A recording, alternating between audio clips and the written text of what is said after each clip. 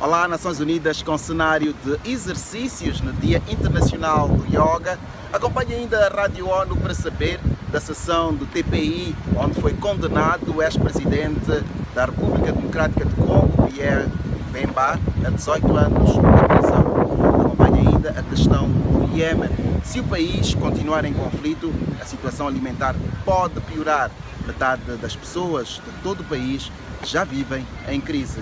Acompanhe também o debate sobre a situação na Síria na Assembleia Geral. Hoje, uma sessão do Conselho de Direitos Humanos em Genebra também falou sobre a questão. Fique ligado à Rádio ONU através da nossa página e também das redes sociais.